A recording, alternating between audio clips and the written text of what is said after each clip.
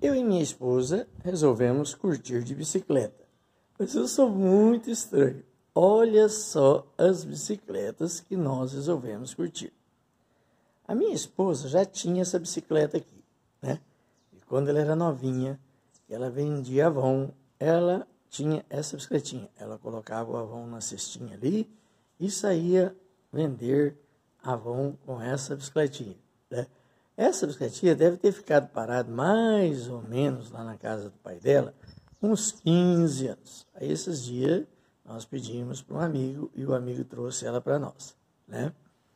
Olha que legal. E eu fui alugar um lugar ali que eu queria montar um restaurante, uma risoteria, né? Antes da, desse negócio de pandemia aí.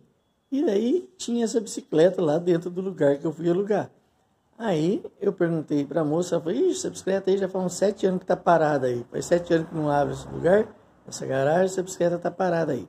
Aí eu me interessei por ela e acabei ficando com ela, né? Olha para você ver, né? Então, tudo que você for fazer na tua vida, você consegue fazer em grande estilo, entendeu? Olha o estilo que é essas duas bicicletinhas.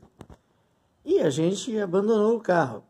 Já não estamos andando de carro desde setembro que a gente abandonou o carro, né? A gente resolveu viver uma vida mais simples, uma vida mais legal, né? O minimalismo e estamos vivendo de bicicleta. Como a gente mora numa cidade litorânea, o que, que acontece? Se torna muito fácil você andar de bicicleta, né? E essas bicicletas são legal porque aonde a gente para da conversa, sabia? Aonde a gente para, o pessoal comenta, o pessoal fala, né? Outro dia um doido ofereceu 1.500 nessa minha aqui, né? Um doido falou, ó, dou 1.500 reais nela. Mas eu não quero não. Sabe por quê? Porque 1.500 reais eu vou comprar essas bicicletas de Playboy aí e os outros vão engordar os olhos e vai querer roubar ela de mim. Eu sou muito desastrado, eu costumo deixar sem cadeado, sem nada. Então olha aí para você ver, ó, né? Então, você pode levar uma vida simples, uma vida minimalista, mas em grande estilo, entendeu? Né? Não precisa ser um, pobretão, assim, andar de qualquer jeito, né? E essas bicicletas, elas são show de bola. Então, dá um like aí, se inscreve no nosso canal, comenta aí se você já teve uma CC dessa, se você já andou uma Monarch dessa, ou se o seu avô tinha uma, né? Isso é muito importante. Curte aí, se inscreve no canal e nos siga. Nós não somos monetizados ainda, mas a gente está de boa.